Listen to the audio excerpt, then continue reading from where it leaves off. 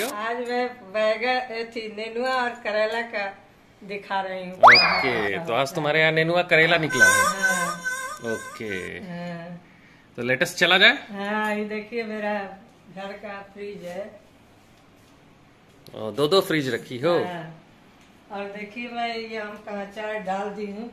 इसकी विधि तो नहीं बताई है लेकिन अगली बार हम लोग इसकी विधि बताएँगे। बताएँगे। कैसा है? तो चलिए नेनुआ और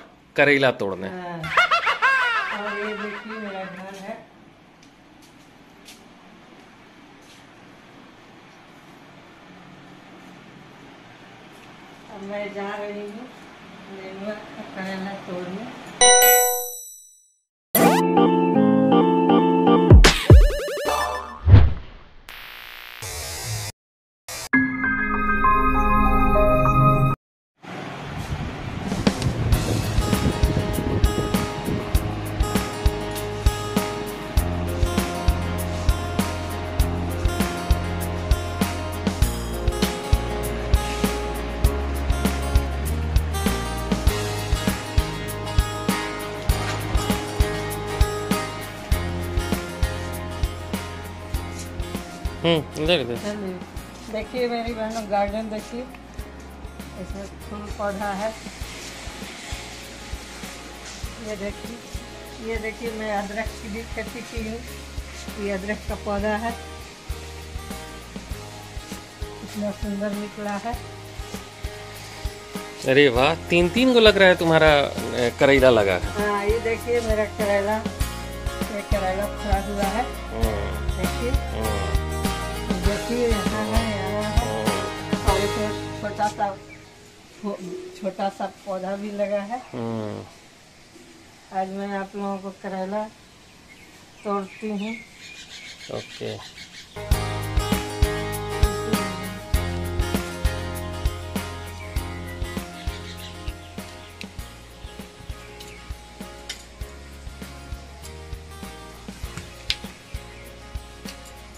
एक। दो। वाओ। एक यहाँ पे भी वाओ। देखिए, करेला है? करेला ओके। अरे छोटा करेला छूट गया। हाँ तो वो छोटा छोड़ दिया अभी छोटा है। ये देखिए मेरा अनार का पेड़ है। हम्म, ये करीब पौधा है। करी का पेड़ है। जिसको हम लोग डोसा और इडली सांभर में बनाते हैं। हाँ, ये देखिए नेनुआ का पौधा है।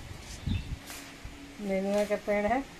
मेरा नेनुआ का भी फल लगा हुआ है। काफ़ी सारे फूल लगे हुए हैं। अभी फूल लगे हुए हैं। फल तो अभी एक आध दो लग रहा है। अभी उतना नहीं है रहे। इसके नीचे नींबू है। नींबू मेरा दब गया है। लत्तर के कारण। लत्तर के कारण। फूल तो काफ़ी सारे लगे हैं नेनुआ में। अब आइए मैं नेनुआ तोड़ती हूँ। देखिए नेनुआ का फूल है। काफ़ी बड़ा नेनुआ देख लें तो।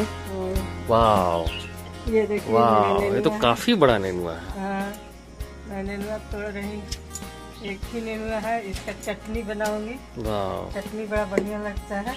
हम्म, तो आज की तुम्हारी सब्ज़ी ये है। हाँ, नेनुआ और तीन दिखा दो ध्यान से। हाँ, वाह खोल के हाँ तीन करेला एक नेनुआ और ये सब गाजी तुम्हारे वेजिटेबल हाँ। वो देखिए नेनुआ का छोटा भाती लगा है। कहाँ पे? इधर लगा है। हाँ दिख गया। वेरी गुड भतिया लगा है। हाँ, वेरी गुड हाँ। अब अब फलेगा नेनुआ मेरा। बहुत सारा फूल लगा है बहनों हम्म और मेरे चैनल को सब्सक्राइब करिए। और लाइक करिए। लाइक कमेंट करिए। कमेंट कीजिए और मुस्कुराते रहिए वाह।